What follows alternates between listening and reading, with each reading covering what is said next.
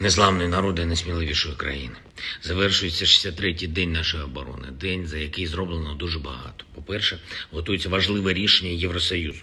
Європейською комісією погоджено прибрати на рік усі мита і квоти на український експорт, а також призупинити дію антидемпінгових тарифів. Обговорив сьогодні деталі цієї пропозиції з президенткою Урсулою фон дер Ляєн. Вдячний їй особисто і всім нашим європейським друзям за цей крок. Саме зараз це дозволить нам зберегти по максимуму економічну активність в Україні, наше національне виробництво. Але потрібно розглядати це рішення не тільки в українському контексті. Достатній обсяг експорту нашої продукції на європейські та глобальні ринки буде вагомими е, антикризовими інструментами. Росія намагається спровокувати глобальну цінову кризу щоб почався хаос на усіх базових ринках і особливо на продовольчому. Український експорт допоможе стабілізувати ринки. Отже, це вигідно не тільки нам, а усім європейцям, мешканцям усіх країн, по яких можуть вдарити російські деструктивні амбіції. На черзі ще нові рішення партнерів для лібералізації нашого експорту. Також узгоджуємо з Євросоюзом, як збільшити потенціал транспортних коридорів на нашому західному кордоні. Говорив сьогодні з президентом Індонезії, зокрема і про продовольчу безпеку. Підкреслив, що для мільйонів людей в різних країнах загроза голоду буде зберігатись, доки Росія не почне шукати мир з Україною. Саме через цю війну розв'язану Росією десятки держав опинились в умовах, коли вони вони не можуть бути впевненими у стабільності для своїх людей. Вдячні Індонезії за підтримку територіальної цілісності і суверенітету нашої держави, за чесну і відповідальну позицію під час голосувань в ООН.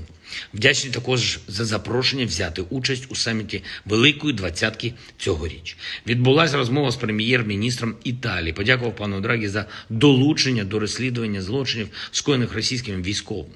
Проінформував про ситуацію в зонах бойових дій. Ціною підтримку Італії справді ефективних санкцій, які здатні припинити війну.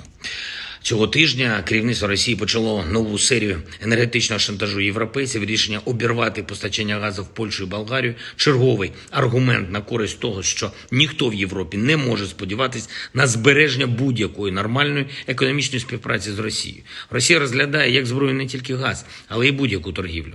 Просто очікує моменту, коли тим чи іншим торгівельним напрямком можна скористатись, або скористатись, щоб шантажувати європейців політично, або щоб посилити російську воєнну машину, яка розглядає об'єднану Європу як мішень.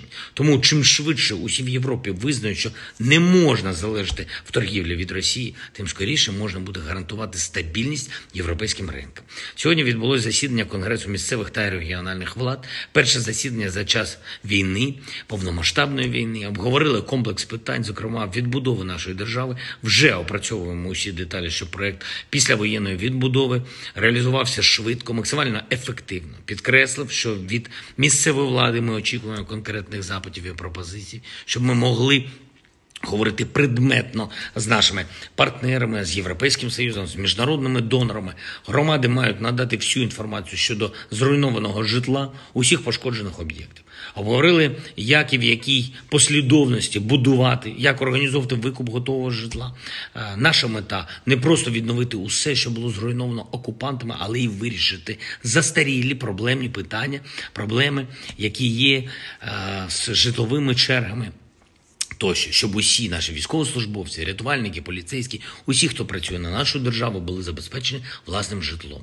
Заслухали сьогодні на конгресі доповіді щодо якнайшвидшого забезпечення житлом переселенців, щодо взаємодії між центральною та місцевою владами у громадах, які тимчасово окуповані. Обговорили питання розвитку територіальної оборони і координацію між місцевою владою та правоохоронцями. Хочу сьогодні особливо підтримати українців на півдні нашої держави в Херсоні, в усіх громадах області в тимчасово окупованих районах Запорізької області вдячні кожному і кожній, хто не здається, хто протестує, хто ігнорує окупантів і демонструє тим маргіналам, які стали колаборантами, що у них немає майбутнього. Чим сильніше буде наш опір зараз, тим більше несприйняття будуть бачити окупанти, тим швидше нормальне життя повернеться на нашу землю.